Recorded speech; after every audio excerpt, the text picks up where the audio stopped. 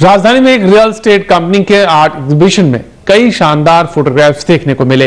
इस एग्जीबिशन का मकसद चैरिटी के लिए पैसा इकट्ठा करना था। इस एग्जीबिशन में उभरते हुए आर्टिस्ट को अपनी पेंटिंग्स और फोटोग्राफी दिखाने का मौका भी मिला, जो भी इस फंड से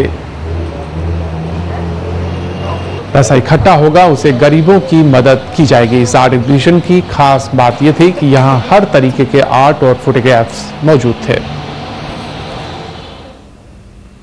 तरीका है? सारे लोगों को जिनको हम इनवाइट करना चाहते थे ताकि वो यहाँ पे आएँ पेंटिंग्स देखें और जो भी इसके लिए जो फंड्स आएँगे, उसको सारे को चैरिटी के लिए दिया जाए। So there a good purpose for the whole thing and इसको हम और रहीजस राजकुमार धूत सलमान खुर्शीद हम लोग आयोजित कर रहे हैं।